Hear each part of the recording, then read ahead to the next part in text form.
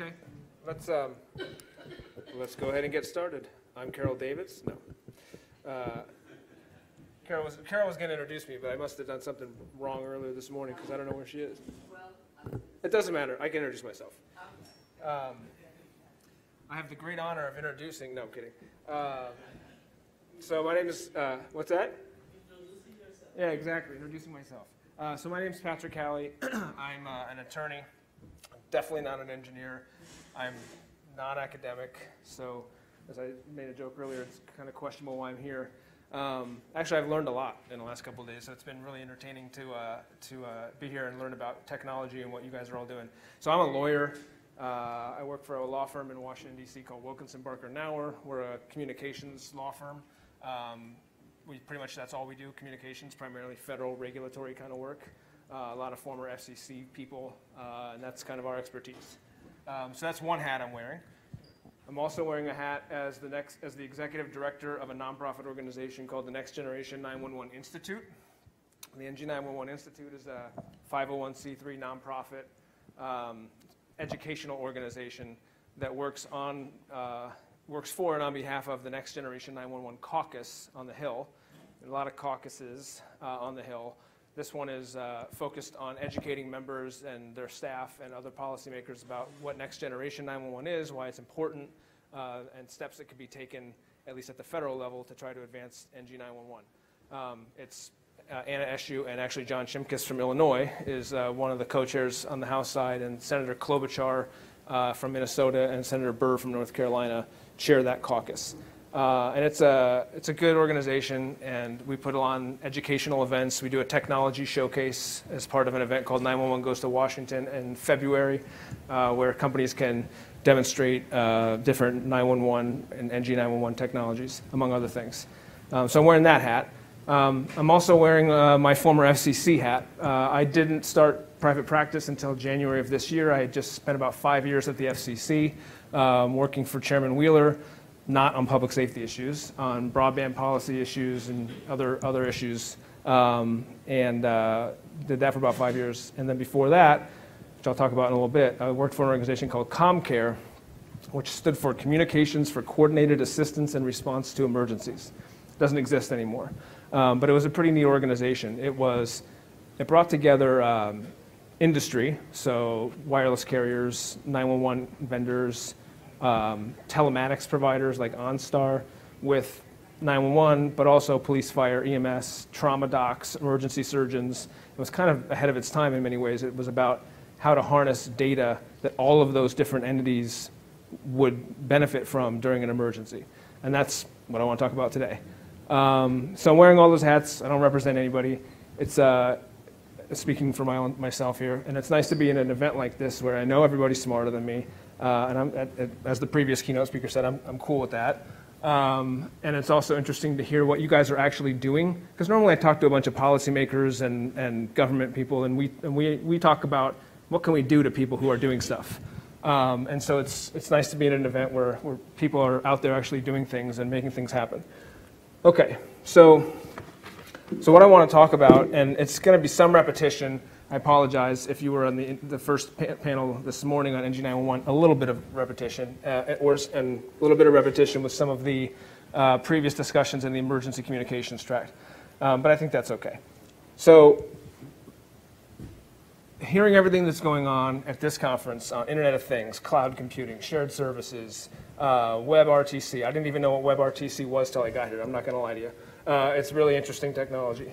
Um, my, my hope is that we will be able to take advantage of this opportunity, and it's similar to what the, the speaker at the earlier keynote said, that we'll be able to take advantage of this opportunity with all of the technology change that's happening now for the benefit of public safety, for the benefit of emergency response. Not just 911. Um, we talk a lot about next generation 911, but I think 911 is just one piece of a broader emergency communications and public safety ecosystem. Um, that all of the things that are going on in the Internet of Things space and in, in the cloud space and everything else, um, that we can really transform public safety and emergency response in the United States. If we think about it on the front end, and if people who are working on these things also think about emergency communications as they develop these things. So ideally where we want to be, I think, is seamless data collection, processing, and delivery. Now, this is no different than anything else. Like, when I was thinking about this, in my mind, the- future of public safety is a lot of data, tons of data, way more data than just a simple 911 call, right? Um, But lots of data being collected, lots of data being processed, things being done to the data uh, that are, you know, attaches to the 911 call and provides context beyond just the voice that you're hearing on the other end of a call, or text for that matter. Um, And then transmitting that data to the 911 center, but not, again, not just to the 911 center, um, to other entities in the emergency response chain so that they can do something with that data. And of course, that's that collection of data, which is going to happen not for public safety per se, it's going to happen for whatever reason that data is being produced in the first place, which is probably not for an emergency response, but for some other purpose. Um, and then whatever processing gets done with that data, it's only relevant if there's an entity on the other side that can actually receive the data. And today we have a real hard time in 911 just getting location data into the 911 center with newer technologies. And so there's obviously a lot of work that needs to be done on the 911 side of this as well. I guess I should also say, if I say anything that you think is just wrong or it's already been solved and I didn't know about it, please just say it. Uh, hopefully this can just be a discussion. I'll throw some ideas out there and hopefully we can have a, a discussion about it. Um, so I, I was reading the, the President's National Security and Telecommunications Advisory Committee report on Internet of Things before I came. And it's, it's more from, as you would expect, it's from, the, it's from a perspective of national security and yes, there's benefits to IoT, but we're really concerned about all the really bad things that could happen and things being taken over if it's not handled correctly. But I, you know, I've read it and I, I agree with what this says, which is we basically have an opportunity to maximize security, minimize risk. We have an opportunity to take advantage of all the benefits while avoiding all the pitfalls that potentially come with it. Um, and, and that's where we want to be. And I, was, I read a NIST thing on the way here too, where it was talking about firefighters. And basically, the whole gist of the thing from the perspective of the firefighters on here was the more data we have, the better, right? Not about the building, about what's in the building, about what's around the building, about what's happening to my body because I'm in a fire and I may not know, you know, what, uh, what my, my vitals are, but some sensor does. And so the idea was the more data, the better. Uh, and I think that's where we want to get. So let's talk about where we started. I did this this morning. I'll do it. I'll do it briefly here. We had voice only, right? Um, and I'm going to start with you know the telephone era. I'm not going to start with pre-telephone. Let's let's skip to like 1965. Um, we had voice only. We had I like this term citizen activated emergency response. So you would you would dial a phone number to get to your sheriff's office or your your police department, um, or maybe your doctor, and it was a seven-digit local phone number, right? There was no 911. We didn't introduce 911 into the system until 1968. It had nothing but voice, but it worked, and it got from the, telef- the telephone company ran it, and it got you to a 911 center uh, or to an entity that answered 911. Um, and that worked. And so then we decided we would add some location data with it, what we called Enhanced 911 or E911. And for the next, you know, well, I actually was talking to them this morning who told me there's still some counties that don't have E911 in Illinois on the wireline side, which was disturbing um, that we don't have it wireline E911 ubiquitously across the country, but we basically do. Most areas have wireline E911 at this point. And that just means, you know, when you call the when you dial 911, it shows up with your voice and your address. That was pretty simple, right? Your house isn't moving very often, at least. Um, and we, we were able to do that. Then we introduced wireless into the equation in the early 2000s. Uh, we started deploying 911. Um, and then VoIP in 2005, I think, was when the FCC required 911. Um, in that case, not an automatic location, a registered location, since the, least for the nomadic kind of Vonage style VoIP uh, services. Um, and then most recently, uh, we just recently required text messaging to 911. Um, and in fact, it wasn't until 1999 that 9, 911 actually became the universal emergency number. It was a piece of legislation called the Wireless Communications and Public Safety Act, um, which made 911 the universal number. So here's, here's my experience from, um, from the early days of the nonprofit public safety organizations I've worked in. We've, we've cons- consistently had a I would say, an adversarial relationship between technology and emergency communications and public safety, at least on the 911 side, uh, maybe less so to, on the first responder, you know, communication side. We've consistently retrofitted new technology into an old system, right? On the wireline side, we weren't retrofitting anything, right? It was like, here's the telephone system. I'm AT&T, the telephone company. I can figure out how to dial 911 and make it reach a certain location, and it worked. But then we came wireless. It wasn't set up for wireless. It was set up for a fixed location system. We had to figure out how to trick it, trick essentially trick uh, the system into routing a, a mobile wireline, a wireless call to a to a, a local 911 center. Same with VoIP it wasn't, uh, the system wasn't set up for, for a voice, voice over IP type of 911 system. So it's constantly been retrofitted. Same with text. Now we have text messaging.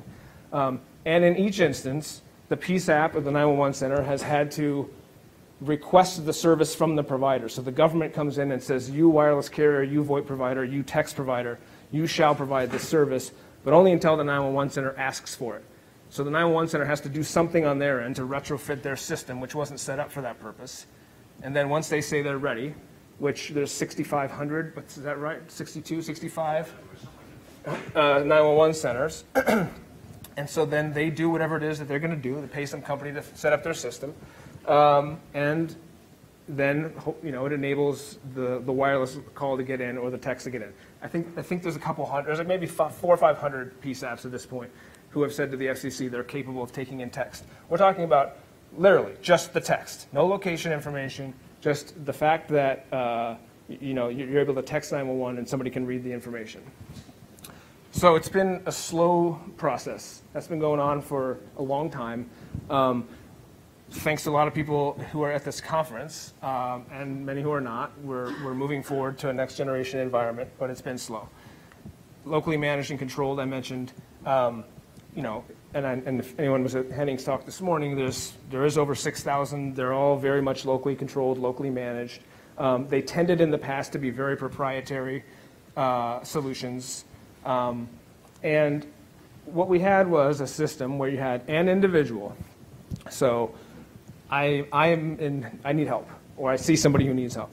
So I'm the one entity. I call 911. I talk to one individual on the other end of that call the most they possibly have at that point is my location, either my, my address if it's a fixed location, or um, an estimated location if it's a mobile technology. That's all the data they have. The only other data they have is whatever I tell them over the telephone, right? And then that individual dispatches information out to some entity who's going to respond to that call. Um, and that could be a combination of you know radio or uh, some kind of data that they send out to the responder. And so that was, that's, that's, the, um, that's the extent of data involved in the emergency response. Um, even when we have data, this is the point I want to make. So a good example is um, crash data. Everybody know what automatic crash notification is? Anybody know what it is? Okay, so um, OnStar is an example, and I'll use that as an example, but it's not the only one. Uh, Mercedes and BMW and other companies also have crash data. So this is not new. Um, going back to um, two, the late 90s, early 2000s, it was called telematics. Um, and they have sensors in the car. This is sort of, it's almost like the, the, in my mind, one of the original Internet of Things applications, which measured a whole bunch of really cool stuff. When the car crashed, whether I'm conscious or not, and this exists today, it knows where I am, it knows where the car is, it knows that there has been an accident, and, and it's got a whole bunch of data about it, that it rolled over or not, that, it, that the airbags deployed or not, how fast the car was going, the delta velocity, so from essentially 60 to zero, sort of what that force was. Um, and that data has existed for over 15 years. And none of that data today, if there's a crash, can actually be shared in electronic format, at least, to my knowledge, with the 911 center. Now, you would think, how hard could that be to solve, right? We ought to be able to figure out how to do that. That's a known entity with a known set of data with a knowable universe of people that we want to share it with, just on 911. But to my point earlier, a lot of people on the medical side would probably like to have access to that information too before they treat the potential patients. Um, and so it was, it was kind of fun when I was thinking about what I might say today. I went back and looked at a project called the National Mayday Readiness Initiative. I mean, who puts that many words on one slide? This is ridiculous. I mean, somebody's got to have a talk with me. Um, I, so I did this on purpose because it was, it was kind of fun. So I went back and read the report of this thing called the National Mayday Readiness Initiative. So NMRI, as we called it. This was the first thing I worked on when I, in the public safety space. It was really fun. So it was DOT, and um, they they paid our organization ComCare to run this process, and it was it was about that issue. It was sort of the infancy of this automatic crash notification stuff, and it was let's figure out you know like how to create a standard and how to get all this data and who wants it and how to get it to them. So we made these recommendations. First thing we said was that the the whole emergency communication system was going to be moving towards an internet protocol-based system. You would have thought that that was the craziest thing in the world to, to suggest when we said that the whole thing's going to be based on internet protocol, it's going to be IP based. You, you can't talk about internet protocol and public safety. That's not a proven technology. Are you out of your mind? Um, so we did anyway. Um, and we talked about, as you can see, intelligence in the networks, sharing of information in real time. And we talked about voice and data in the network with location, going to the PSAP with crash data, with location, with a map, with the phone number, with medical records. Um, to a PSAP. Also to trauma centers, traffic operation centers, because wouldn't DOT want to know where the crash was before, as soon as, as soon as possible, et cetera. And we talked about uh, data on a call center server, e.g. personal medical data, could be picked up and added to the data being sent to a P- PSAP or an EMS agency if the subscriber had paid a TSP for such a service. TSP is telematics service provider. So this made me chuckle a little bit because in our mind, like it would be such a controlled system, right? You'd have this this OnStar or this telematics provider would know about their customer. They'd have a special subscription service that their subscriber could pay for with their medical data, and if they did, then you would provide that data to the 911 center along with the call. Whereas that sounds silly to me today. To me, it would seem like some other service would exist with information about me that was a totally separate service provider uh, and then the question is, well, how do you get all those disparate data sources together about the same event, which is what I hear a lot of people talking about at this, at this conference. Um, and we, we wanted this private sector to do cool stuff with the data. So I don't think that's really happened. Any, is anybody, Henning or anybody else, am I wrong? Has there been a bunch of developments there? And it's crazy. So, so what I can say now today, though, I'll just say it now even though it's later in the slides. There's some progress. So OnStar, to their credit at least, they have what they call an, an injury predictor, an urgency algorithm. Um, and so they will, when they get one of these crashes, based on certain data points, the CDC has done some pretty cool research with, with like the nation's leading trauma surgeons, like really high level trauma surgeons that look at the data associated with crashes from all these different sensors in the vehicle. And then they, they created an algorithm to figure out uh, likelihood of severe injury. Now, if you think about it, if we could get more and more and more data, you could predict, you could do more than predict the likelihood of severe injury. You might be able to predict what injury, right? If we have enough crash data and enough outcomes based on certain types of scenarios. And that's what I, I hope we get to. Um, but today, at least, OnStar is able to tell the 911 center, you know, there's a 75% chance that we're going to have a very severe injury based on this data. Uh, and it's based on rollover, and, and they, they add other things into it, like whether it's a male or a female um, whether the person is over 55 or not. If you're over 55 and female, I'm sorry to tell you, you're more likely to be involved in a serious injury than if you're a young man. Um, that's just what the data says. Um, and similarly, what kind of car it is, right? If it's a Fiat, that's going to be different than if you're in a Dodge Ram, whatever. Uh, and seatbelts, yeah, exactly, airbag, all that stuff. So, so they're able to do that. But what's funny is they don't send any data to anybody, even today right? They don't send the data to the 911 center. They certainly don't send it to the doctor or the, the hospital who might like to know some of that information. They just verbally relay that there's a, a, high probability of injury. Better than nothing, I suppose, but I hope, I hope we can do better than that. Okay, so where are we headed? Um, and if anybody's been involved in some of the discussions in the emergency communications track, you will have heard some of this. Um, we're, we're headed to a next generation 911 system which is uh, I'll talk about in a second, which is what I, my favorite part about it when, when I first started learning about NG911. It was the first time that we weren't talking about technology as a problem, new technology, because that's that's what I used to hear. Ah, you know, wireless 911 or text messaging.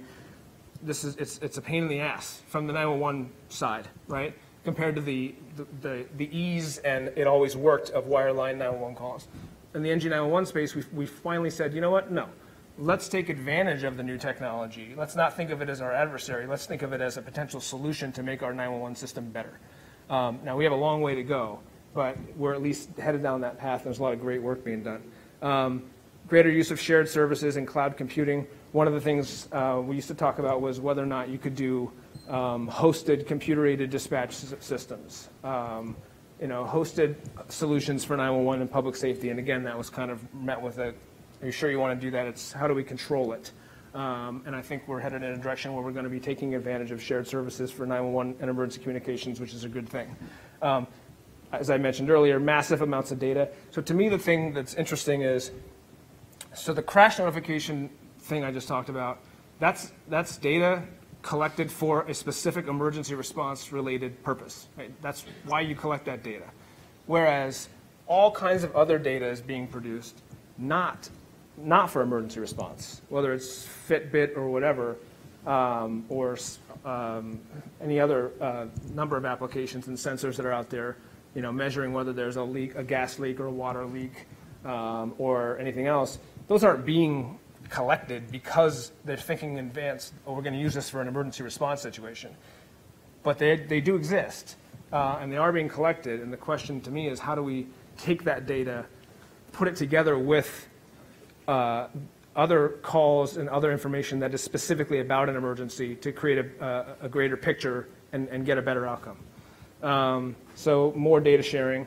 Um, obviously, there's a lot of data security and privacy risks that now come up with a much more open uh, 911 and emergency communication systems than in the past. And we have a lot less regulatory certainty now about how all of this works, who's in charge, who gets to say how this works, who can say you're in trouble if it doesn't work. Uh, and so there's a lot of questions about um, sort of who's manning the ship, and that's something the FCC is paying a lot of attention to these days. Um, you know, they've, they've, they have only historically, I'll talk about this a little bit at the end, but they've, they have historically, the FCC had a role in telling a wireless carrier, because that's who they have jurisdiction over, you shall provide 911, or a, a messaging company that connects to the public switch network, you shall provide text messaging. Um, so they have not and do not have a, a relationship with local 911 authorities. Um, but to the extent all of this is IP based, to the extent all of this is interstate, not intrastate communications, the FCC is um, thinking about what its role is and what needs to be done to make sure that the system works. Um, and they're, I, I can tell you, the Public Safety Bureau at the FCC is very concerned about. It's, it's like they want, they want to see the technology flourish, and they want to see next generation 911 work, and they want it to be fully IP based, and they want it to be based on the most modern technology, but they also want to make sure it works 100% of the time. Um, and it's an interesting dichotomy because they're on the one hand pushing this stuff as much as they can, but at the same time expressing concern and issuing giant fines to companies when it doesn't work. Uh, so it's, it's interesting times that we're in. Okay, so I won't talk too much more about Next Generation 911. Uh, there's been other discussions about it today.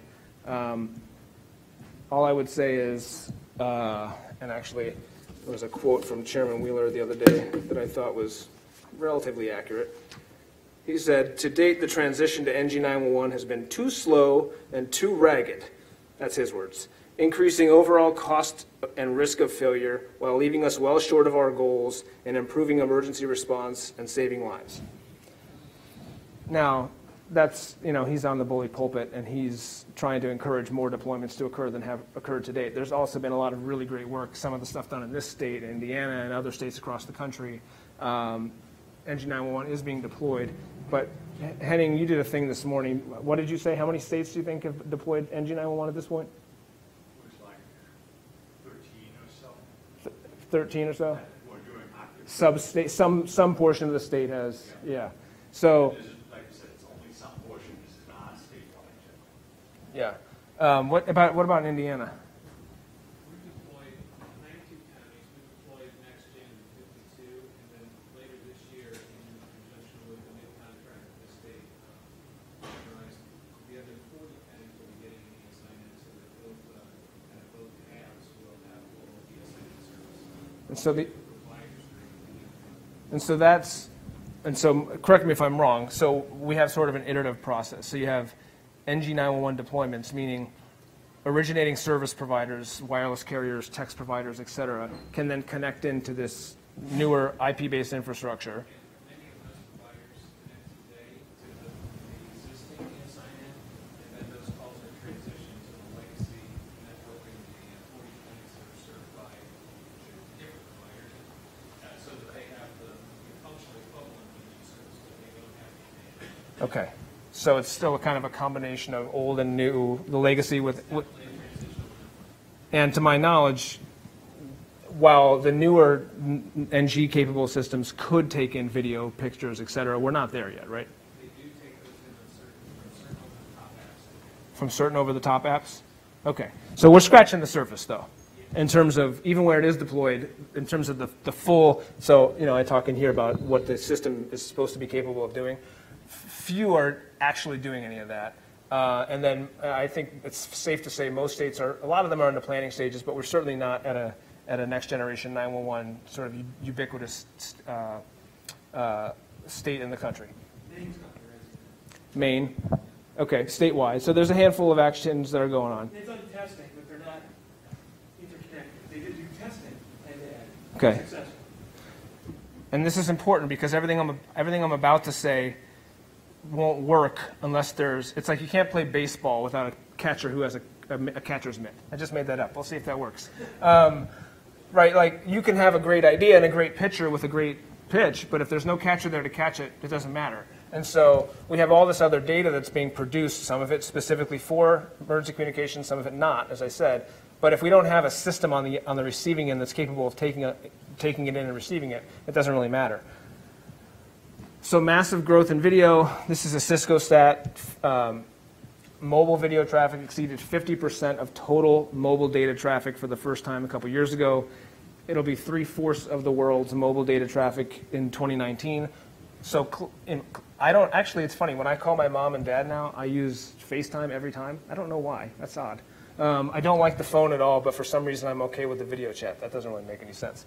Uh, yeah. I have a question, but basically, so, um, in the case of when the person having accident and that information is passed to the agency, that's another violation of my privacy.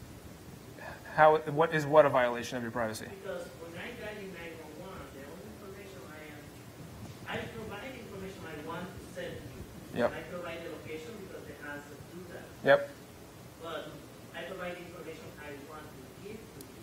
No, the system is taking the information they can't get. So if your question is, are there privacy concerns about information beyond location? Yes. I would say, For example, you chair, in the car have the way I was driving and all that, I can sue you because you went farther than what you should. So you can't, you can't, if it's crash data, there's a specific law that provides an exception that uh, does allow the owners of that crash data to provide that information during a, to, when they're contacting the 911 center. There's a specific exception for that. But to your point about, uh, is there privacy issues around other things besides location? Yeah, there, I, I, I think that is a fair question. But today it doesn't happen, right? Today you're call, you're making a call or a text, and all, the only thing that's going through is location. And there is a specific carve out in the law, in the Communications Act, that does permit wireless carriers and others to provide that location information. There's also some language in federal law about liability protection that extends to it's uh, not just traditional carriers. There's a term in the law called other emergency communications providers, which is kind of a forward-looking effort by Congress, so that folks who are providing information beyond just the traditional call have the liability protection if something goes wrong, even though they're trying to do the right thing. But if your question in general is, if we start bringing in a whole bunch of information beyond just the voice call, is there a privacy issue there? I would say the answer is yes, uh, and that's something that policymakers need to grapple with. Yeah, Mark? understand that some states have, have written state laws that virtually strip the individual of any privacy or any information that's submitted during a nine-one-one call or emergency call. Other states have not modernized their statutes. Illinois, for example, they just, they, the law just changed. And in Illinois, the information that is available that people find or extracted from the network call itself is up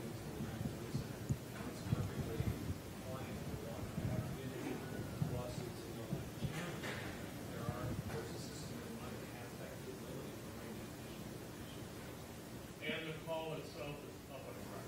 Right. Yeah. Yeah, there's, a lot of this stuff does kind of vary on a state level. And, and a lot of the laws, so you said the word call. How, what is a call? How is call defined? Right? So there's a lot of nuances that people have to be aware of. Yeah. Yeah, but also, I mean, it- it's a bit of a nuance, but when you do call or dial 911, the only thing that's going from your device to the mobile network, the fact that you've dialed 911 and what your phone number is. The only thing that the mobile carrier sends to the 911 center is your phone number. That's it. There's no data, there's no nothing, no location. The 911 center takes your caller ID, makes a secondary query, this is over a separate communications path. Where is this phone number located?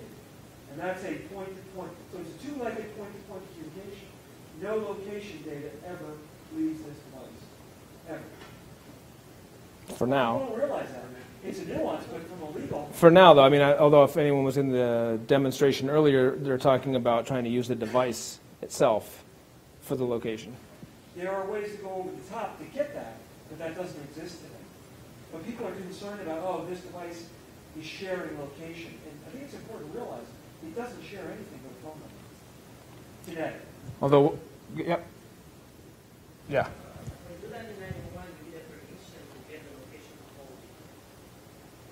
That's, actually, that's the only you can, you dialing this, it's going to the PSAP, the, the system will find out where you are, you are giving that permission. This is a right you are giving.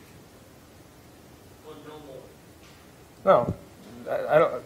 No. So I think there's there's state laws on, on what is or is not permitted, or, or when you call 911. I think that's there, some level of discussion needs to be had uh, within the, the legislation about what is or is not permitted, depending on what we want to do. But I want to do a whole lot more. So let's talk about that. Um, so I was at the airport. Someone broke out his Periscope app. I I'm not technical enough. But all of a sudden, he's doing a video chat with me. That's fun. And all these people just started popping up and, and, and we're video chatting. And so, and, that, and Meerkat, I guess, is a, is a competitor of that. So that, that level of voice or video specific communication is obviously growing very fast. Um, and he can, he was able to just start video chatting with pretty much anybody. Now, he certainly could not have taken that video chat and then connected it to 911. Although that's why we're developing these NG911 systems so that he can, and that's fantastic. What's um, what's interesting to me is none of those talk to each other, right? If I'm on Periscope or Meerkat or FaceTime, is there stand, uh, do those communicate with each other yet? No, right? They're very closed, right? Which is kind of the opposite of the telephone network. And so it's funny because we're going from a closed, sort of proprietary 911 system to an a more open 911 system where the actual services we're using is much more closed. When, and they don't interoperate with each other, which is interesting to me. Um, and then, of course, there's non-real-time video. I can take a video of Mark right now, not listening to what I'm saying, typing into his phone. And I could, yeah, right. and I could, and I could send it to anybody in here, but I certainly couldn't do it to 911. But we're getting there. Um, somebody talked about connected car yesterday. How if the car crash, so again, if there's going to be if there's cameras inside cars, uh, for whatever reason. So even if I don't have it associated with the service, but I dial 911 on my phone, can I somehow have my phone connect to the camera in my car to then have the image that's being taken of me transferred via my car to my cell phone, my smartphone, whatever it is, into the PSAP? I don't know. Seems like it ought to be doable. But again, there's, there's video everywhere. Obviously, there's video in my home, there's video in malls, there's video in the streets of Chicago and Washington, D.C., where I come from. Um, and so that, that's an interesting development, and hopefully the system will be able to take advantage of it. I already talked about automatic crash notification. Um, smart baby seats. Um, you know, I think the Internet of Things app that I'm most excited about is the self-propelled lawnmower that I was reading about. Um, I don't think there's an emergency response connection to that, although I could imagine there might be if it doesn't work right. Um, but smart, smart child seats. Uh, I have two kids. Um, I hope I never leave one of them in my car and forget about them in a hot Washington D.C. summer day, but I might. And so these these things have a lot of information. Now, does that need to go directly to the 911 center? I don't know. Um, if it can't reach me, I hope it goes somewhere to somebody that can come help them. Um, so there's again just sensors everywhere. Um, obviously, people talk about the, the leaks uh, at industrial sites. That information is interesting. I changed the spelling of the word plane here. Uh, The version that's online, it's spelled P-L-A-N-E. Those are not flying floods. I just uh, spelled it wrong. Um, so anyway, Internet of Things, there's data everywhere. To me, the biggest, the, the thing I think about the most is we have trouble getting specific data specifically for emergency response into the response community. We have trouble getting it just to 911. Uh, We, at least we have historically. And we hopefully are working to get that handled. There's going to be increasingly a lot of data that is uh, not designed for emergency response, but that could be useful during an emergency. And the question to me is, and I'm, there's so many smart people around, how do you take that data that isn't specifically for emergency response and use it to add context to a 911 call or a 911 text? Because the devices that are around that emergency, uh, you know, can understand the, how that data can be used. So wearables is an example. Um, you know, heart attacks and strokes are um, one of the main killers in this country. Um, wearables, Fitbits, they're not, again, they're not designed for emergency response. They're designed for some individual health use. But my hope is that we'll be able to use that information so that when I call 911, it's probably the same damn device, right? It's this Apple Watch that I'm wearing to call 911 is also connected to my, my vitals. If it's going to call 911, um, and 911 can receive that information, first of all, can they also receive that information right that's that that same device is measuring about me? If it's not that device and it's some other device that I'm wearing, um, like an oximeter or whatever it's called. My wife's a doctor. I asked her how to say that and I forgot. Um, but it's a thing that measures your, your blood oxygen level. It's you know it's just a piece of information about me.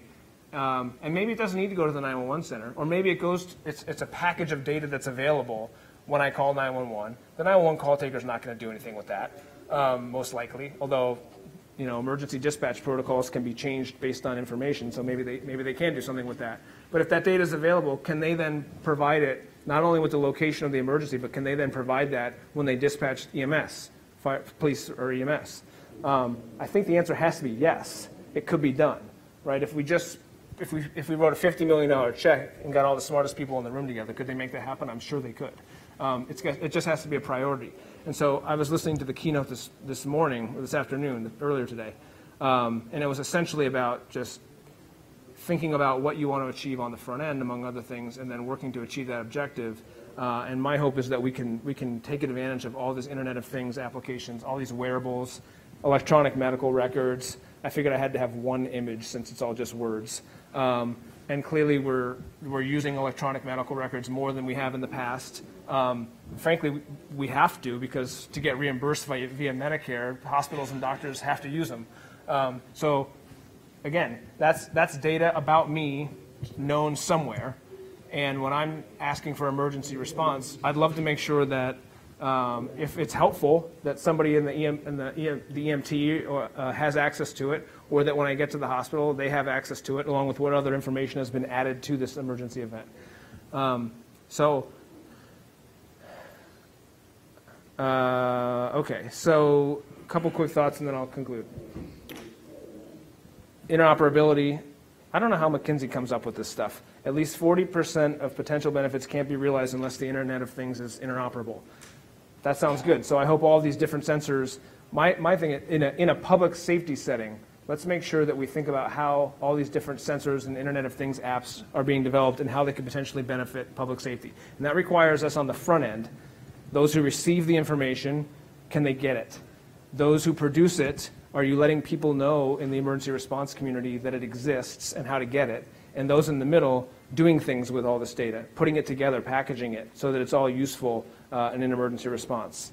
Um, I thought this quote was interesting. It was after South by Southwest this year. It was an analyst basically saying, we're collecting vast amounts of data, more than we ever have, yet we don't use any of it. Um, and I think she was just talking about like an enterprise, right? Forget what I'm talking about, which is a whole bunch of disconnected sources of information that aren't aware of the other sources of information. We're talking about, let's say, an oil rig that's connect, that's that's producing massive amounts of information, and they're actually only using a tiny fraction of that information. Um, so, I, to as we start using more, I hope we use more for public safety, and I do hope it creates new business models. Okay, last thing I'll say is, of course, there are public policy issues here, um, and that's what I do for a living, uh, living in Washington D.C there's a whole slew of unique funding and, and, and 911 specific issues that are attached to next generation 911. We talked about privacy already. Um, data security is our, obviously an issue. So I've heard a lot of people talk about privacy is dead. It's like social or and, and data security is dead. I don't know. I don't know if that's true or not, and I understand the concept. But I can tell you one thing: when it comes to Washington D.C., it's not dead. Um, there's a whole lot of discussion going on um, in, in Washington about the Internet of Things and about privacy and about data security. And the reason there's so much to talk about it is it's cool, right? The Internet of Things is really interesting. Uh, it sounds neat. Um, and data and privacy are easy to understand. And to the extent that there are data breaches or there are privacy violations, that's, that's something that lawmakers really care a lot about. And so um, there is an Internet of Things caucus on uh, Capitol Hill now. Uh, it's got over a dozen members. Um, the good news, I think, on that front is that that those members are pushing the Internet of Things as, as a positive, right? They're not. It's not. A, it's not a sort of how do we control this. It's a this is a really amazing thing. Let's talk about developing a national strategy. There was a, a resolution passed by the Senate this year, a sense of the Senate talking about the need for a national strategy on the Internet of Things. I don't know if that's a good idea or not, but it, it certainly shows the level of interest uh, in the United States Senate about the Internet of Things. Um, liability, I add that here because uh, while I mentioned that there are some federal laws, at least, that provide some level of liability protection for those who essentially uh, create information for emergency response, it's not rock solid. So to the extent we're, we're moving forward and, and taking advantage of all the new information that's available and trying to use that information for emergency response, um, we do need to think about making sure that people are incentivized to do that and not disincentivized because if something goes wrong, they get in trouble. Uh, we, I think we want to encourage technologists uh, and, and pe people to, to think about how to use data for, for the right reason. Governance issues, obviously it's, it, it got complicated as to who's responsible for what when we started talking about voice over IP 911 calls. Is it an interstate call? Is it intrastate? Does the state PUC regulate VoIP? There's still debates going on right now, I think, in Minnesota about whether or not the, uh, the cable companies in that state are subject to state jurisdiction or not when they provide voice over IP service. And that's telephone service. So when we're talking about applications and sensor data and doing all these interesting things that I hope happen, uh, the governance issues there are extraordinarily complex, uh, and that's something that we're going to have to grapple with. Um, and there is no one owner. Uh, I'm more familiar with what's going on at the federal level, just to give you a sense of what is going on, cases of interest. Um, NTIA, which is the National Telecommunications and Information Administration, is the president's telecom advisor. Um, they have taken an interest in the Internet of Things, um, and but they and they've but they haven't done anything. They formed a couple working groups. They're looking right now at facial recognition technology, concern over privacy and other issues, and drones. That's another popular topic in Washington these days. A lot of hearings on drones, uh, and a lot of concern about privacy issues, et cetera. Um, I will say that there is some focus on specific applications like connected vehicles. Senator Markey from Massachusetts is quite concerned about the ability of connected cars to be hacked and taken over, so there's legislation there. Um, the FTC, I would say the FTC, the Federal Trade Commission, is probably the most, uh, the agency with the most focus on the Internet of Things right now. Uh, they just put out a big report. They did not recommend legislation, uh, although the, they did recommend legislation on privacy, although bro more broadly speaking.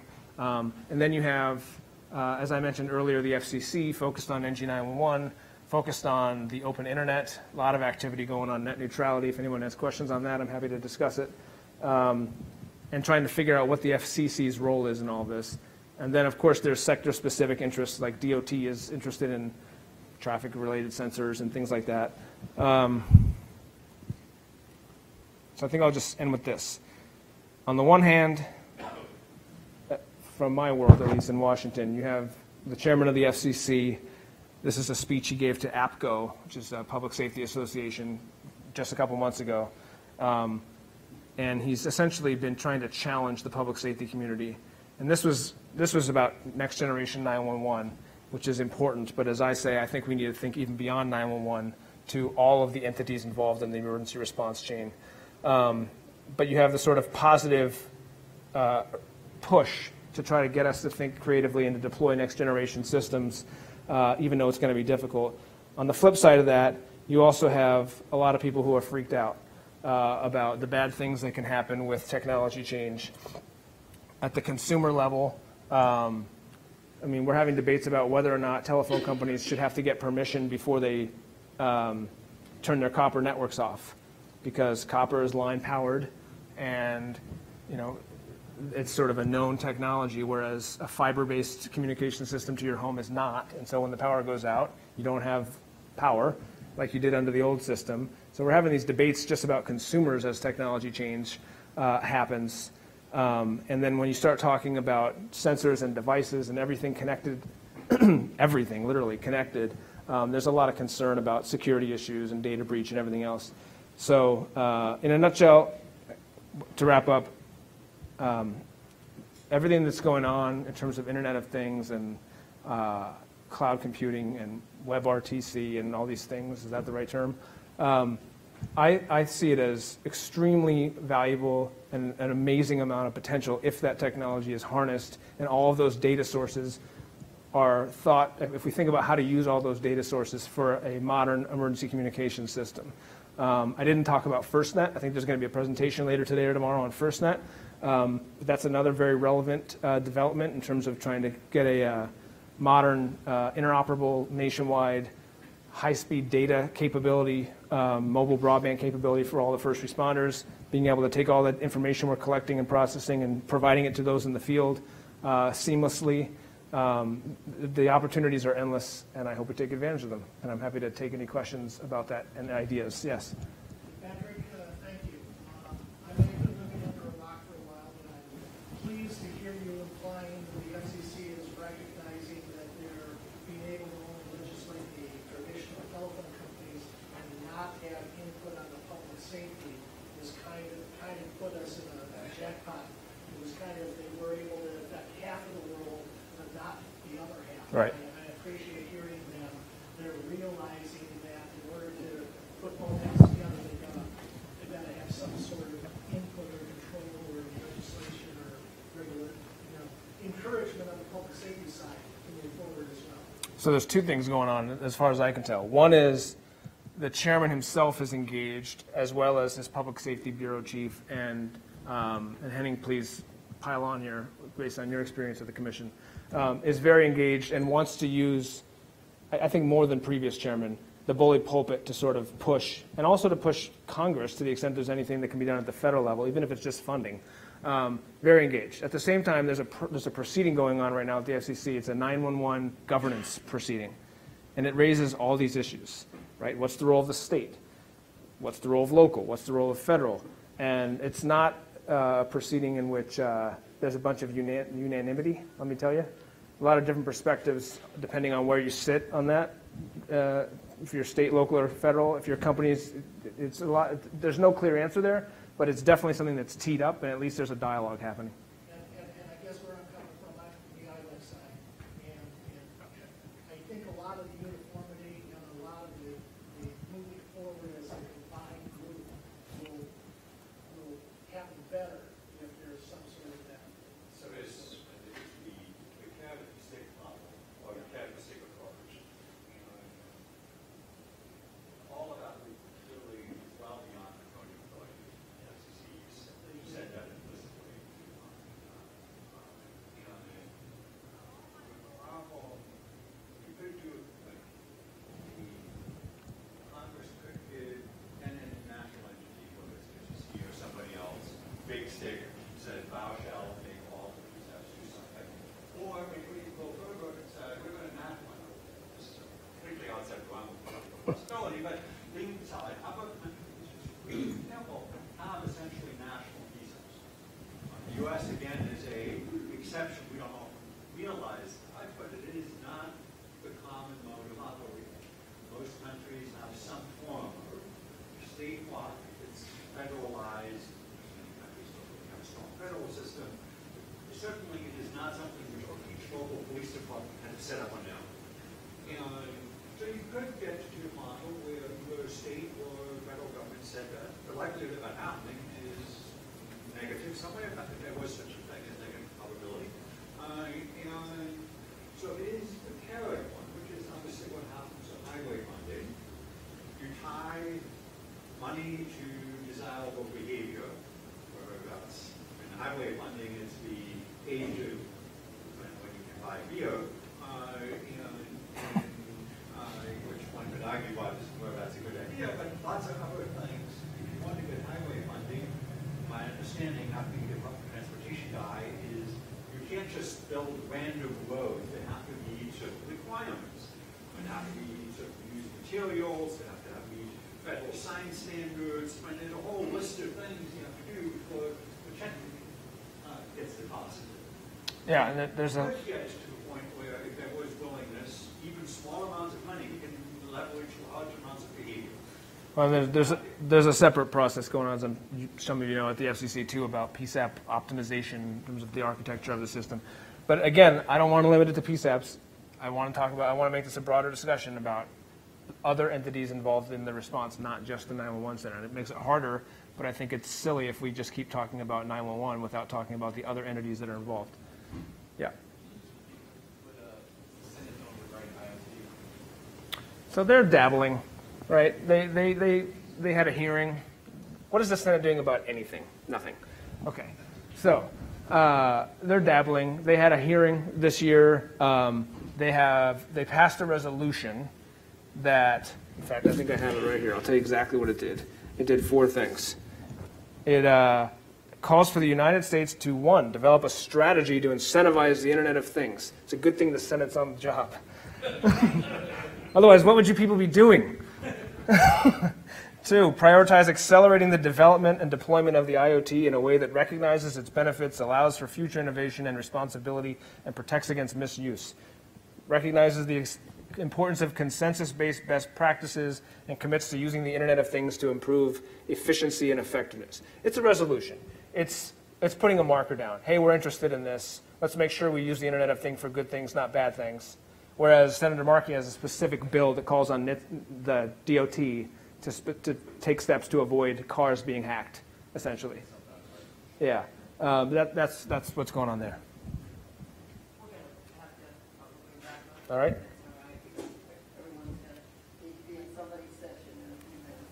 All right, thank you very much.